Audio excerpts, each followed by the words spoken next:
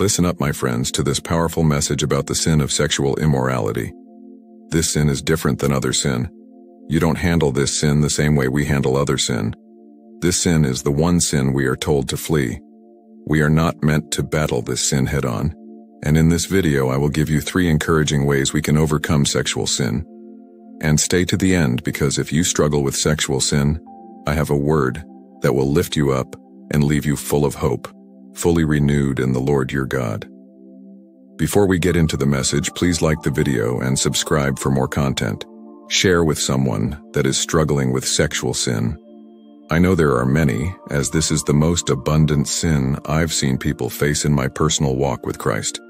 Sexual immorality, fornication, masturbation are all sins that the Bible says to flee.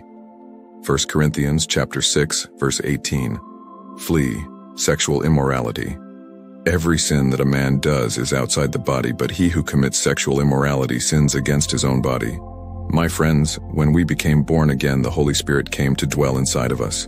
So what this means now is that our body is the temple for the Holy Spirit. Sinning against ourselves means that we are sinning against the Holy Spirit as well. Imagine how much this grieves the Holy Spirit.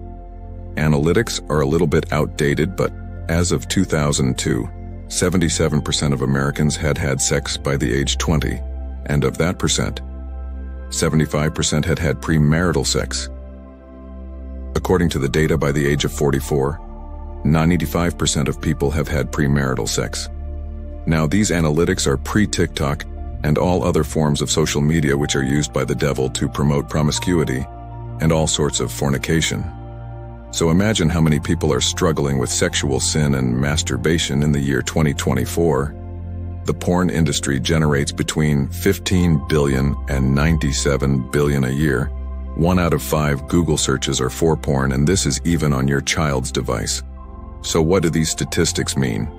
It means that the world has gone rampant with sin, and the problem is much bigger than we give it credit for. You see, it isn't just a good time or a release of sorts. Each one of these dollars and people in these statistics represent a sinful action. Each time one of these instances occur is a time we were told to flee. We were never meant to battle or struggle with sexual sin to begin with. You see, Adam and Eve were created by God and walked around naked without any awareness to their nude bodies. It was after the serpent tricked Eve into eating the forbidden fruit from the tree of knowledge, upon sharing it with Adam, that they became aware of their naked bodies and felt shame. This one act alone is known as the fall, and it is where all of the sin came from that has been introduced into the world since. What does this mean for believers? What does this mean for non-believers? The answer is the same for both parties. Sexual sin sends you to hell and needs to be repented of.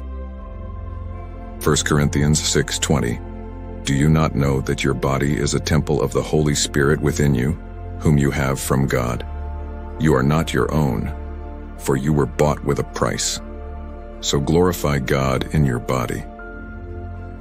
The act of sex is a gift and a blessing from God for married couples that isn't meant to be experienced without the bond of marriage. There are feelings and connections made between a man and a woman when they have sex that bonds them together spiritually. When you introduce these connections and bonds to someone that isn't your covenantal partner, soul ties are introduced. This opens the door to demonic oppression as well. Have you ever had sex with someone and after you split up you have this desire to continue sleeping with the same person, so you fall back into the pattern of breaking up and making up? This is called a soul tie, and it is from the devil to keep you in bondage to sexual sin. Sex has been created for procreation, as well as for a man and a woman to have pleasure in the love that they get from the marriage covenant. Now I want to give you some ways that you can overcome this sin that are practical and can be used in everyday life to overcome this desire. The first way to overcome this sin is to flee. If you find yourself in a situation of temptation, 2 Timothy chapter 2 verse 22 reads, So flee youthful passions and pursue righteousness, faith, love, and peace along with those who call on the Lord from a pure heart. We are not meant to struggle or wrestle with lust and sexual temptation. You don't fall into sex in one day, rather it builds up over the course of a few days of testing the waters. Maybe it's a flirtatious text today. Maybe tomorrow it's an inappropriate touch. By the third day, it may be a nude photo in your inbox. On the fourth day, it's sexual conversations on the phone. And by the fifth day, it's live video of one another. And on the sixth day, you both cannot control yourself any longer that on the seventh day you commit the sin. You see, it isn't a one-time occurrence. The sin usually happens much further in advance than the actual act itself. This is why Romans chapter 13 verse 14 says, But put on the Lord Jesus Christ, and make no provisions for the flesh to gratify its desires. When this type of behavior shows its face, immediately put it to rest. Do not entertain these types of behaviors or thoughts. You're supposed to take these thoughts captive immediately. If you give these thoughts a moment of your time, you can entertain them much more easily the second time around. And if you do it twice, it's easier to do it a third. The best thing to do, if you find yourself in a place where you struggle to control yourself, is to not put yourself in that position in the first place. Meet with your boyfriend or girlfriend in a public space with friends around, so it won't be such a challenge. Don't be alone late at night as your inhibitions are lower at this hour of the night. I was once told by a very wise man that if you are going to hang out with your significant other, that you need to stay vertical. What does this mean? If you stay vertical, in an upright position your bodies do not find themselves close to one another. But when you lay horizontal, as in laying on the couch watching a movie together, you find your bodies close to one another, and this leads to sexual desire and lust for the other. Your chances of controlling yourself in a situation like this are much slimmer than they are if you are upright and not close to one another. Practice wisdom in your time that you hang out with one another and don't put yourself in a risky situation that you will most likely lose to.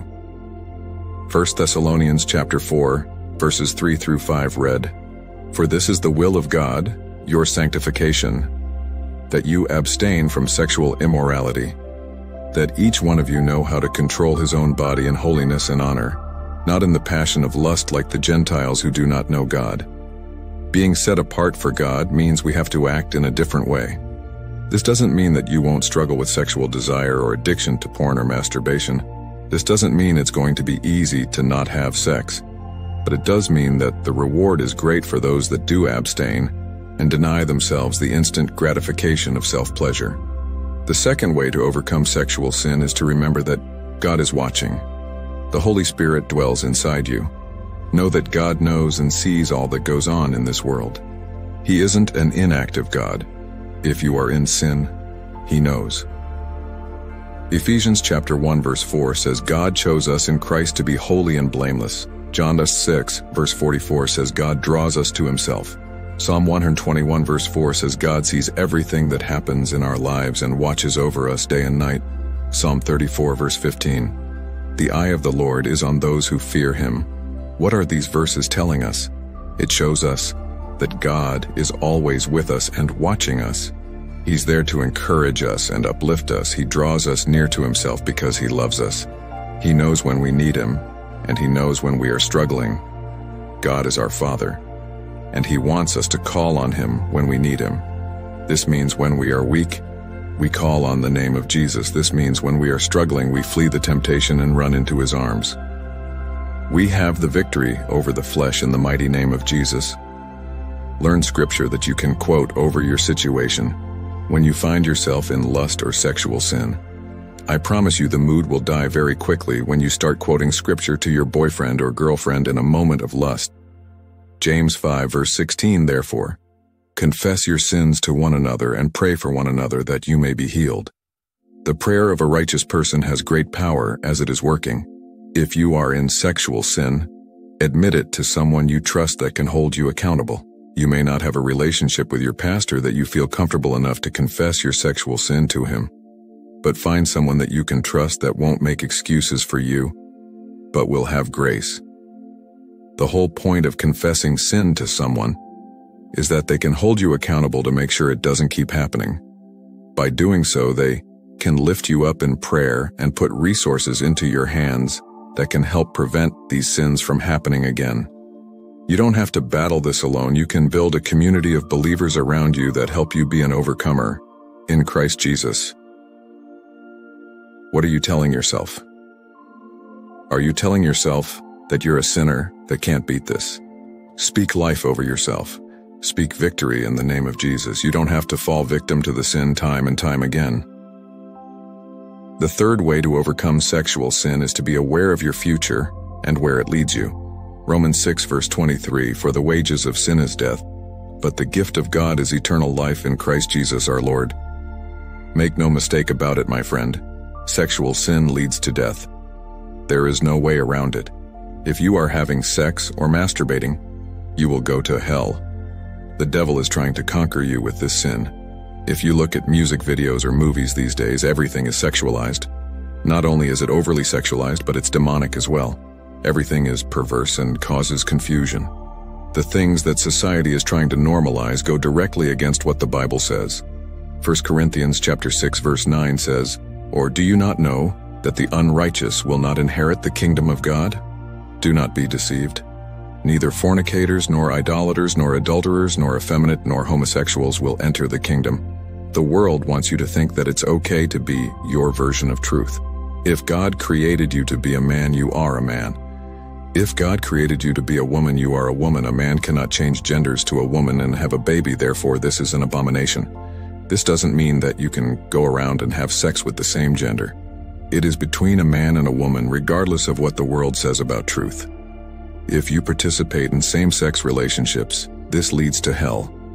Mark 10 verses 6 through 12 says, But from the beginning of creation, God made them male and female. For this reason a man shall leave his father and mother and the two shall become one flesh. So they are no longer two but one flesh. God made marriage between a man and a woman. It is by this relationship that we procreate. You cannot create a baby with your same sex, it's biologically impossible. Now listen to me very closely, my friends. If you drive your car into the mud and it gets dirty, what do you have? Is your car no longer worthy to be driven? Do you throw your car out and get a new one? No. That would be absurd, wouldn't it? You wash your car and it is like new again. That's what happens with the blood of Jesus with our sexual sin. You don't have to be destined to go to hell, but simply accept what Jesus did on the cross and be forgiven of your sexual sin. Repent and turn away from it. God is mighty to save, and he wants all of his children to go to heaven. What Jesus did on the cross was the atonement for all sin once and for all.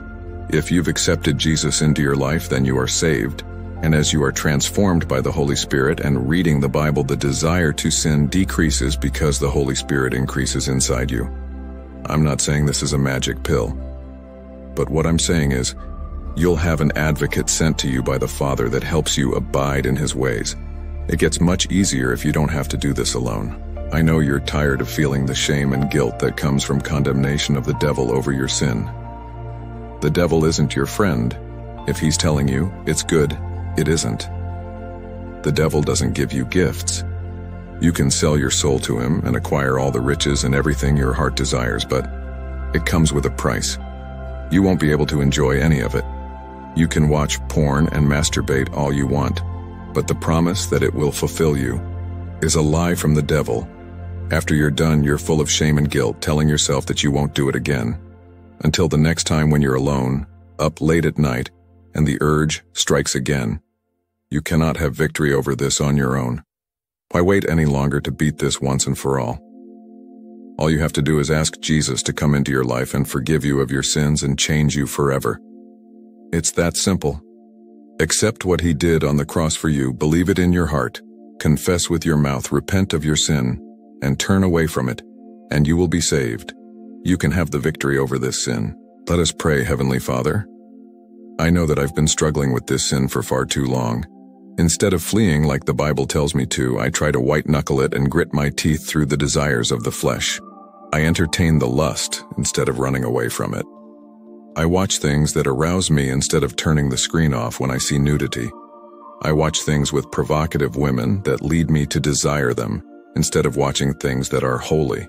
I listen to music that entertains and glorifies the sex life instead of listening to worship music that glorifies your name. Forgive me of these sins, Lord. Holy Spirit, guide me and convict me when I watch and listen to things that I'm not supposed to. Put people in my life that have the same values that I have. When it comes to dating, Help me to find someone whose beliefs align with mine so we can both know what the Word of God says. This will help us be united in Christ and minimize the opportunity or desire to have sex. I know that I'm not perfect, Lord, but you are. That's why I'm calling on your name, Jesus. Help me to overcome sexual sin and lust. I plead the blood of Jesus over my life and all of my relationships and friendships. In you, Jesus, I'm more than a conqueror because I get my strength from you. Thank you for your sacrifice on the cross, Jesus. Help me to show you that I appreciate what you've done by helping me not sin anymore. And if I do sin, help me to repent immediately. It's in Jesus' mighty name I pray. Amen. If this video has encouraged you or given you hope for the season you find yourself in, leave the video with a like. Don't forget to subscribe to the channel and share this content with someone struggling with sexual sin currently. You don't have to fight the battle alone. See you in the next video. God bless.